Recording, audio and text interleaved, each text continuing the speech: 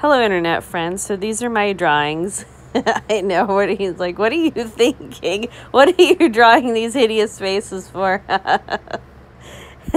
anyway, I the whole point of me drawing this is like, why in the world are people passing this off as a smile? It looks like they're trying to eat us or something like that.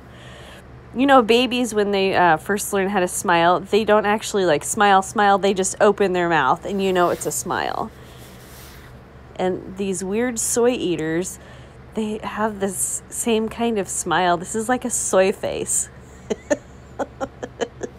So when you're happy just make sure you don't do a soy face right? All right internet friends thanks for watching